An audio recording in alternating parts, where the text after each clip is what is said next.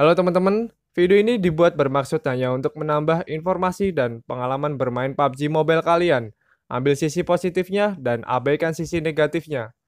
Jangan lupa like, subscribe, dan share ke teman-teman kalian ya.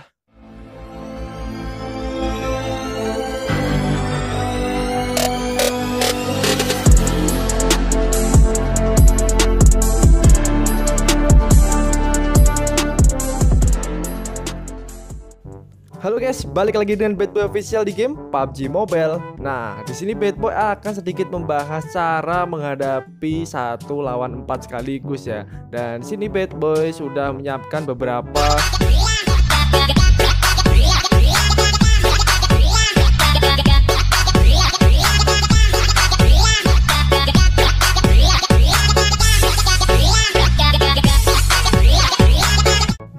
sudah menyiapkan beberapa cara untuk kita pelajari bersama agar kita bisa mengurangi rasa panik kita ketika menghadapi satu lawan empat ya.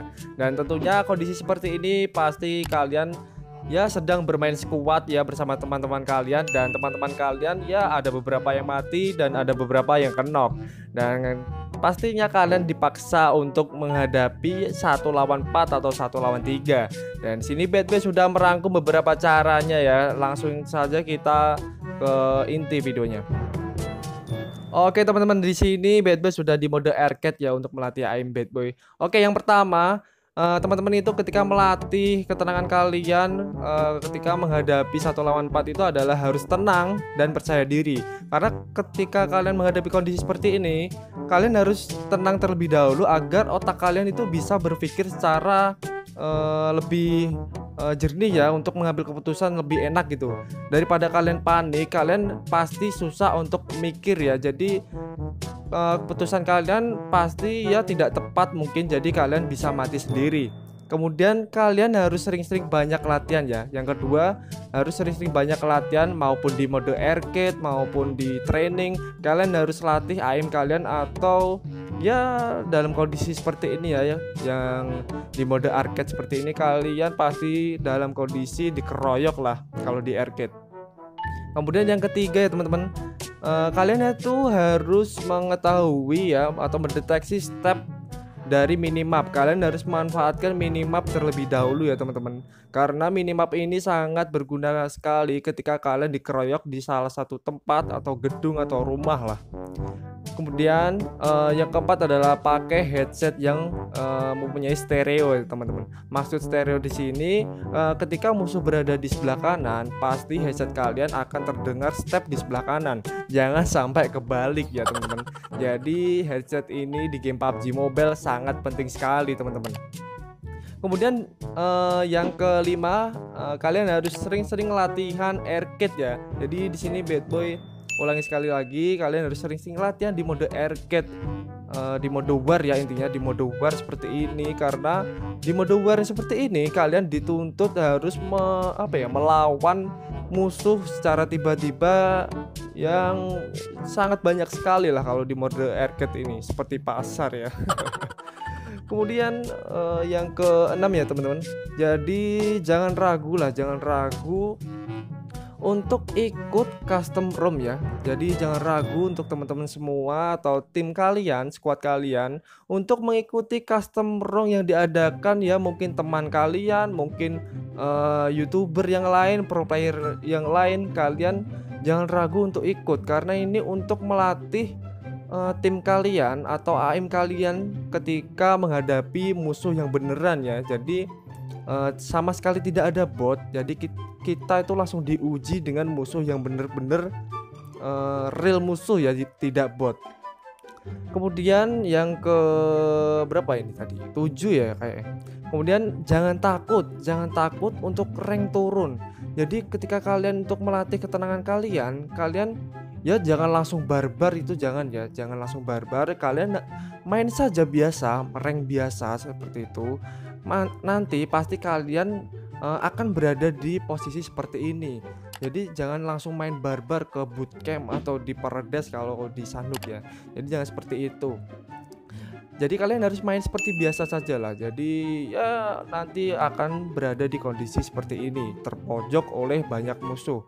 Jadi jangan pikir rank terlebih dahulu ya kalau untuk melatih uh, ketika melatih satu lawan 4. Jadi yang penting skill kita itu selalu uh, naik ya kemampuannya di setiap waktu. Jadi percuma lah kalau kalau kita itu apa ya bermain rank terus tetapi kalau kita uh, dikeroyok langsung end semua. Jadi ya poin kita hilang secara cuma-cuma ya kita susah-susah ngereng ya. Mencari kill eh, mencari kill mencari poin main aman terus tetapi akhirnya kita tusun karena ya dikeroyok oleh banyak musuh ya. Jadi ya banyak-banyak latihan ya teman-teman. Jadi ya jangan takut rank turun. Dan itulah ya teman-teman. Jadi di sini Boy menyampaikan beberapa latihan untuk uh, mengatasi ketenangan ka uh, kalian ketika menghadapi satu lawan empat. Memang kondisi satu lawan empat itu memang susah teman-teman. Karena ya mungkin kita berhasil menang itu ketika satu lawan tiga mungkin langsung end, eh satu lawan tiga mungkin langsung ke knock. Tetapi pasti ada satu lawan atau satu temannya yang membantu uh, musuhnya. Jadi kita mungkin bisa end sendiri ya. Tapi mungkin tidak tidak menutup kemungkinan kalian bisa menang lawan satu lawan empat. Di sini device atau HP kalian juga sangat berpotensi untuk memenangkan war ini. Karena device yang mungkin speknya rendah ya, maaf. Spek yang rendah pasti sangat kesusahan untuk satu lawan par seperti ini. Rata-rata pro player kalian bisa lihat atau YouTuber pasti mereka memakai iPhone karena iPhone memang grafiknya sangat smooth.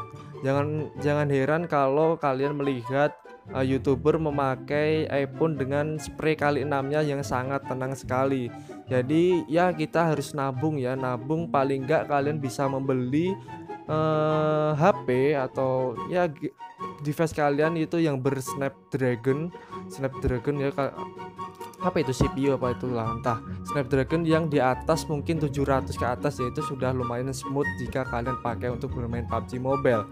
Jadi ya kita harus menabung ya mulai sekarang ya kalau kita bisa uh, ingin uh, bermain PUBG Mobile lebih baik lagi. Di sini Bad sudah siapkan ya gameplay dari uh, Levinho ya Levinho. Karena di sini Boy memang suka sekali gameplay dari Levinho. Terus belajar dari pro, pro player ya kita.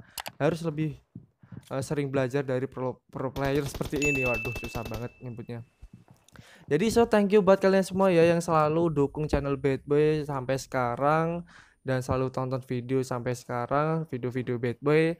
Dan thank you buat kalian semua yang sudah tonton video ini. Dan sampai jumpa di next video. Thank you teman-teman